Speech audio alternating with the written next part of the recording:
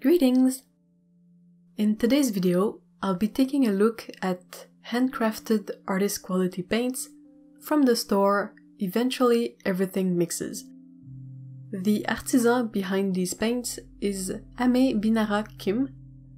She is based in Germany and she also draws and paints beautiful art.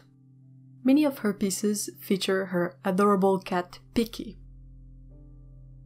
I was pretty excited when she opened her shop, as I had been following her paintmaking process since the beginning.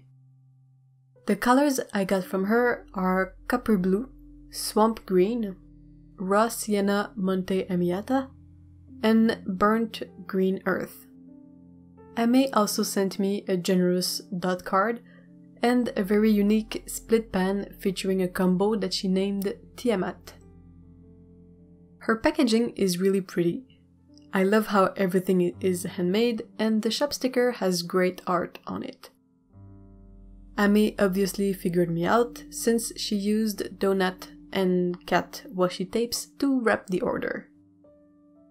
Her paint swatches have the pigment and paint information on the back, and the paint wrappers have paint name, pigment, and or toxicity information.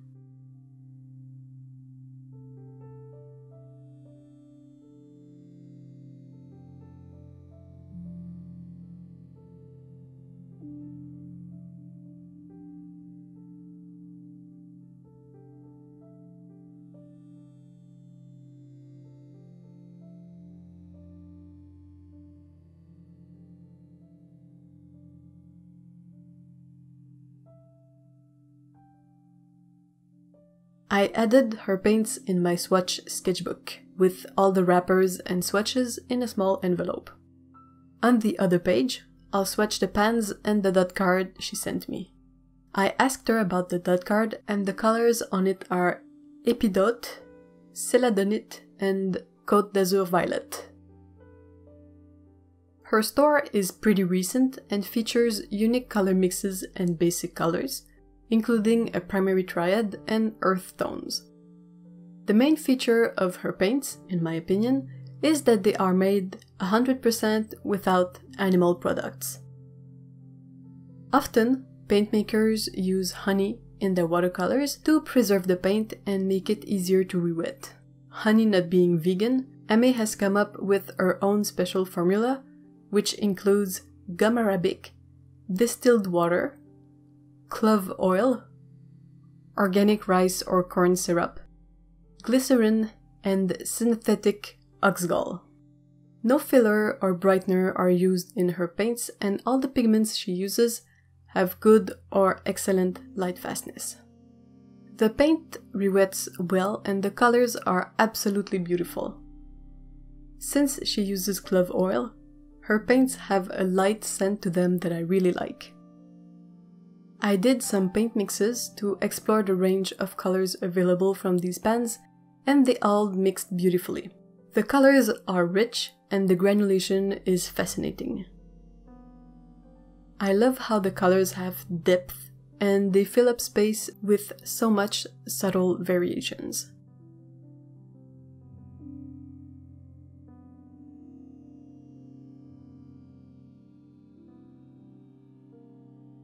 Ame's paints are only one aspect of her project, which also includes painting workshops and sketchbook clubs.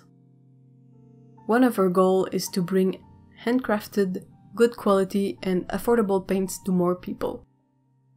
She also wants to help and encourage those who shy away from art because they don't think they can do it, that they don't have the skills or the talent.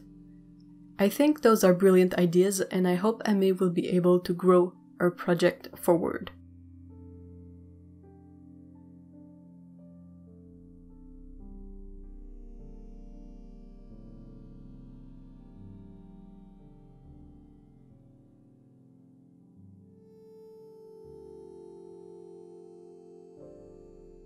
As I usually do, I set out to paint a drawing with these paints. I opted for something more illustrative and less of an observation sketch. I drew this little nighttime forest scene and inked it with waterproof sepia brown ink. Then I painted it using only the five pans crafted by Ame. These colors complemented the ink color and the subject of this painting well, and I love how it came out. The texture contributes to the storybook feel of this painting.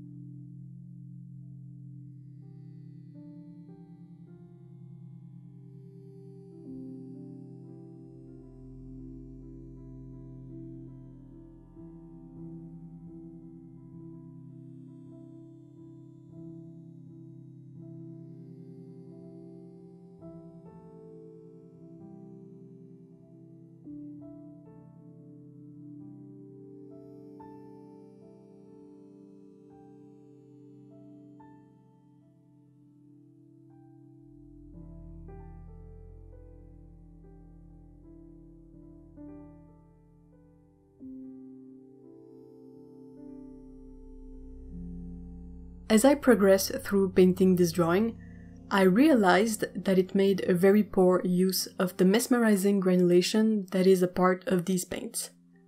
When I was done, I took out a much larger sheet of watercolor paper and set it up to paint an abstract, wet in wet landscape.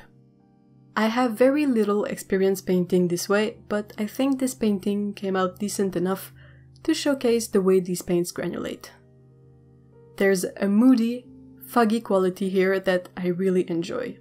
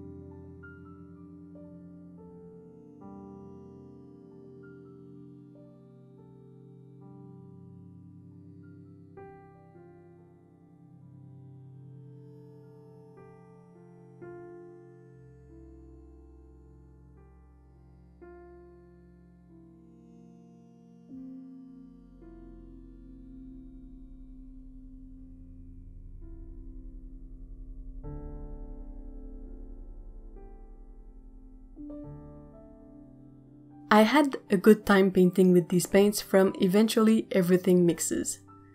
They are beautifully unique and it shows that Ame has put a lot of work and thought into them. Her handcrafted paints also have the extra characteristic of being completely vegan and cruelty free. I will include a link to her shop in the description box and I invite you to check it out. Have a great day, bye bye!